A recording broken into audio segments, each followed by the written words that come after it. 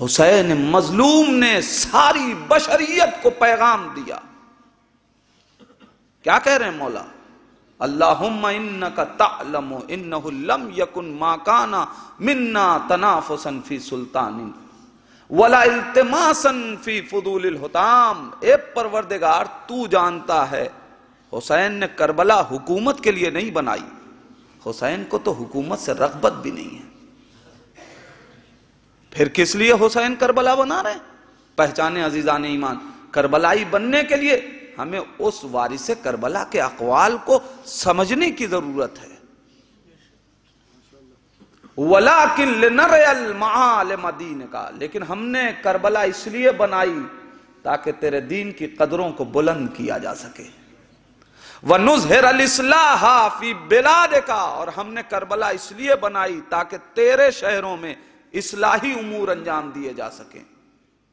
वयामनल मजलूमूना मिन इबाद का और जो तेरे मजलूम बंदे हैं, उन्हें जालिम के जुल्म से बचाया जा सके।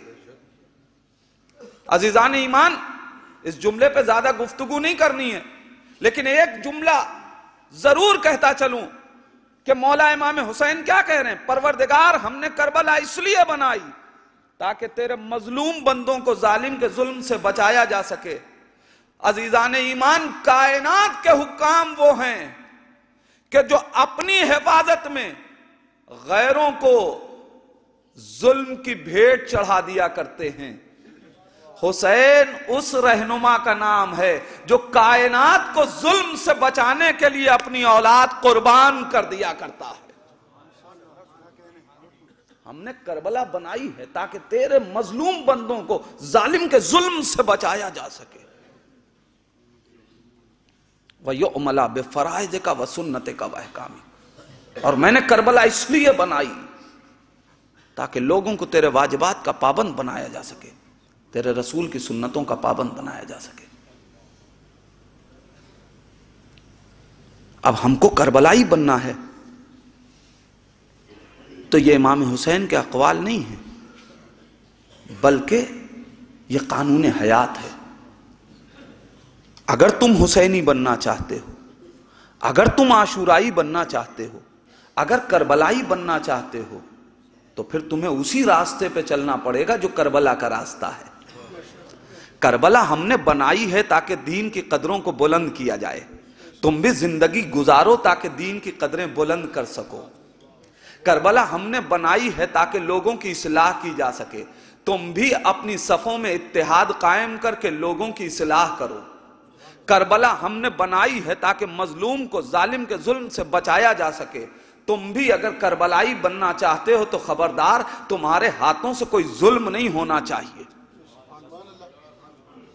करबला अगर हमने इसलिए बनाई है कि अल्लाह के वाजिबात और रसूल की सुन्नतों को बचाया जा सके तो फिर जो करबलाई है, उससे, उसके ऊपर वाजिब है कि फिर कोई वाजिब उससे छूटने ना पाए। कोई रसूल की सुन्नत उससे पामाल ना होने पाए। तब इंसान करबलाई बनेगा। इसलिए कि करबलाई बनने के लिए मारिफत की ज़रूरत है। बेमारफत करबलाई नहीं बनता। बेमारफत करबलाई नहीं बनता, इरफान चाहिए। और करबलाई बनने के भी सबके अपने अपने दर्जात हैं। लेकिन जिस दर्जे पे सरकार वफा पहुँच गए,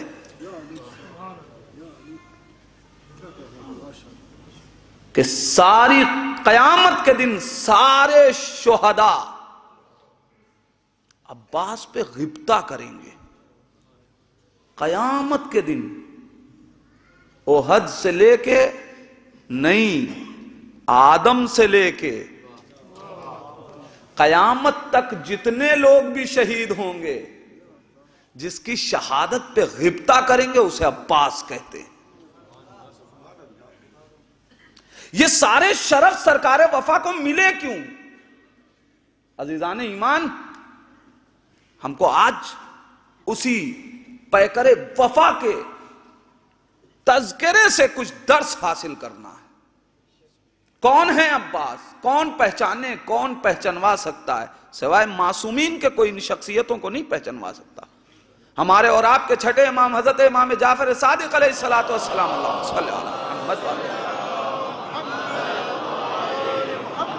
इरशाद फरमाते हैं, कान अमुन अब्बास ना फेजुल बसीरा। हमारे चचा अब्बास बसीरतों में उतरे हुए हैं।